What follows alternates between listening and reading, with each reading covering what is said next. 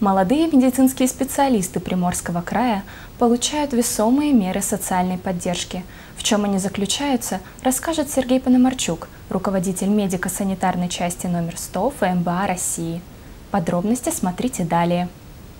Приморском крае уделяют особое внимание мерам социальной поддержки молодым специалистам. Им выделяют подъемные средства на необходимые нужды, выдают служебное жилье. Сергей Пономарчук, руководитель МСЧ Фокина, выделил главную проблему кадрового дефицита. В нашем округе остро стоит вопрос нехватки хирургов, терапевтов, реаниматологов и акушеров-гинекологов. Для решения этого вопроса вчерашним студентам мединститута предоставляется не только комфортные условия, но и денежная поддержка и квартиры из муниципального жилого фонда по программе ФМБА каждому приходящему на работу к нам специалисту мы выделяем 2 миллиона рублей.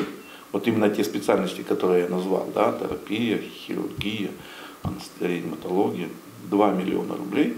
По словам Сергея Пономарчука, в этом году прибыло уже два новых специалиста, которые уже получили положенные им льготы. К примеру, Татьяна Кузьмина приехала к нам в округ по программе «Земский доктор». Я получила 2 миллиона получила от администрации города Фокина, получила жилье, двухкомнатная квартира, э, причем на выбор у меня был выбор, я выбирала.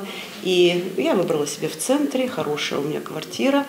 В медицинском учреждении нашего городского округа у медицинских работников есть возможность обучения, карьерного роста реализации себя как специалиста. Я прошла аккредитацию успешно. Я получила и проучилась дополнительное образование у меня по ультразвуковой диагностике. Отметим, что Татьяна Анатольевна вошла в коллектив только в этом году, но за столь короткий срок нашла общий язык с коллегами и проявила себя знающим профессионалом.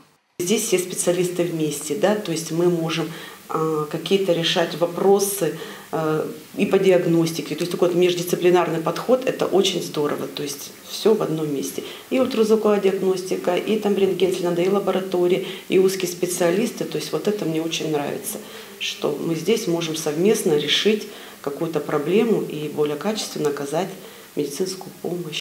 Губернатор отметил, что в настоящее время в крае уже приняты меры по наполнению кадрами учреждений здравоохранения. Это целевое обучение, реализация программ «Земский врач» и «Земский фельдшер», по которым медработники единовременно получают выплаты в размере от 500 тысяч до 2 миллионов рублей. В прошлом году средства получили 72 специалиста. В этом меры поддержки смогут воспользоваться еще 90 человек. Всего в прошлом году из краевого бюджета на оказание мер поддержки медработникам направили 548 миллионов миллионов рублей. Помимо единовременных, это ежемесячные выплаты молодым специалистам, компенсация аренды жилья, выплата за наставничество.